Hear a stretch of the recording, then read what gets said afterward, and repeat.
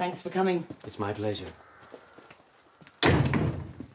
So, do you live far? Harrogate. I've uh, brought along a copy of my CV, as requested. Maybe we should take this opportunity to discuss my fee.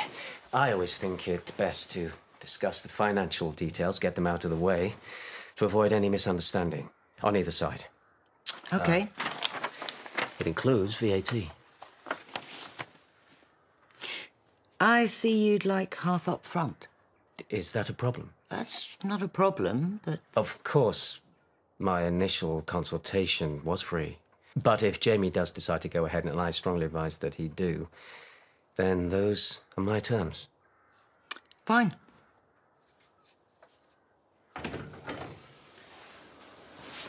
Jamie, I'm so glad to be on board. Well, let's just uh, get to it, shall we? Man after my own heart.